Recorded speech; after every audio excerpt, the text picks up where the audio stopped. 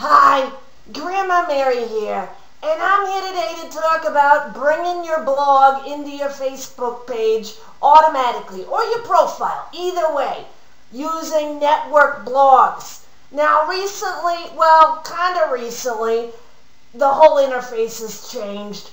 So here's my updated video on how you do it. So I'm in a little test account here and I'm just going to navigate to network blogs. And you can do that by typing in the search box network blogs and then just clicking on it. And if you're new to network blogs it's going to have you verify your account. You're going to have to log in with your personal profile. Don't get freaked out about it. It's okay to use it that way you can just port it into your Facebook fan page even if you're using it as your personal profile. That's just how this app works, okay? So don't get your knickers in a knot over that. So you just kind of keep clicking through, click here, click here, the la la la, follow the signs. Let me just move my head a little bit here. Now, nothing to show, that's because you're new, it's okay. You're going to first go up to the register a blog area right up here, and you're going to click on that. You're going to fill out the whole uh, blog link information and go through the steps there. And then you're going to put, you know, put the name in, the coach, the feed, all that kind of good stuff. Put in your topics of it. The topics just help you get found a little bit. Put it in your description. And this is all just for within the app. So, you know, fill out all that kind of good stuff. And then what you're going to do once you do that is you're going to go and pull it in. So now you've registered, it's going to have you do a little verification that you're the owner. Now you can you can do that by asking your friends to verify you or you can put a little snippet of code on your on your blog that it gives you handy little snippet of code just in a little widget there. If you're blog savvy, you know how to do that. If you're not, you can use your friends to verify that you're the owner it still will pull this all in even if you're not verified. So you don't have to worry about that.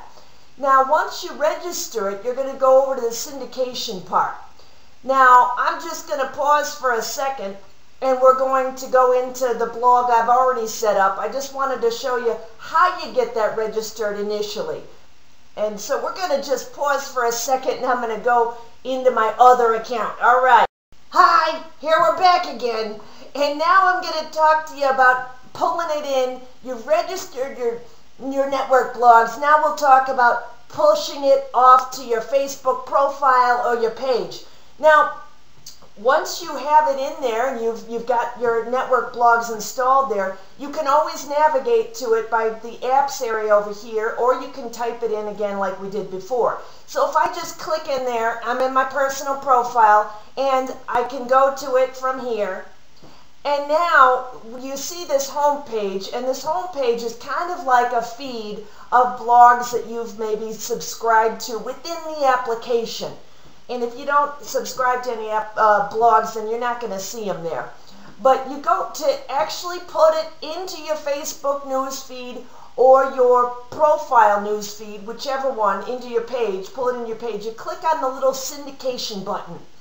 Now, once you claim the blogs, you're going to click on it there, and now you're going to see where it's pulling to. And you can see right now, we've only got it going to Andrea's profile page.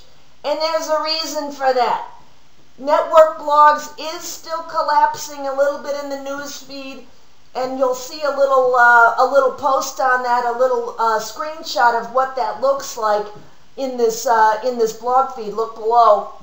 I mean, in this blog post, look below and you'll see that it's not getting quite as much play out there if you pull it in via the network blogs application itself. Facebook doesn't give it its own shiny little spot in the news feed. So what I do on my on my personal on my fan page is I do post it manually. I post my blog post manually. I don't want anyone to miss those by because it's getting collapsed. Now, if you want to you know, if you want to go ahead and do it, I know a little automation can be a good thing.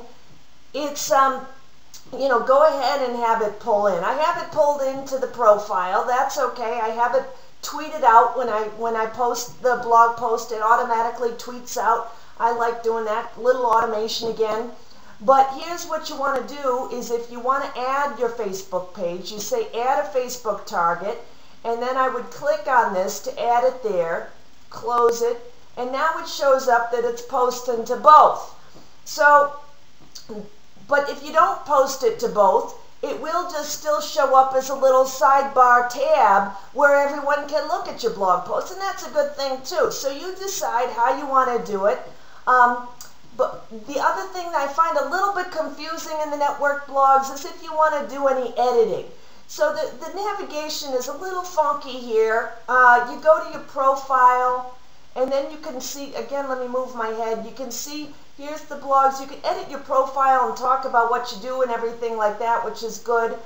But here's how you navigate to some of this stuff. If you want to edit what the blog is about or, you know, check on it, you click on this little spot right here, and then it takes you into kind of the blog area. You can edit the blog, you can kind of do some stuff in there, but you know, again, the navigation is a little funky. You got to click around a little. Where am I? The syndication is where it pulls in, where you can control that.